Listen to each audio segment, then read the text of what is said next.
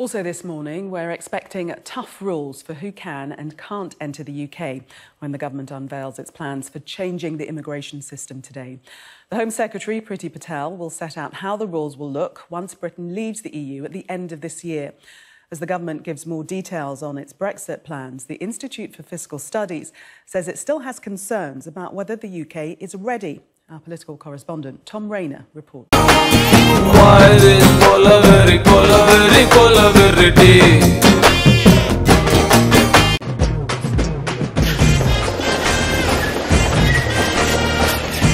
The election slogans may seem like a distant memory. But the government insists the pandemic has not pushed Brexit to the sidelines. The Home Secretary will later announce details of the points based immigration system that will take effect from January. A document setting out how the borders will operate will also be published, and a new public information campaign will be launched, including a website that allows individuals and businesses to check how best to prepare for the UK's imminent departure from the Single Market and Customs Union. In a statement, Cabinet Minister Michael Gove said, While we have already made great progress in getting ready for this moment, there are actions that businesses and citizens must take now to ensure we are ready to hit the ground running as a fully independent United Kingdom. This is a new start for everyone in the UK, British and European citizens alike. The precise nature of that new start is, of course, still unknown.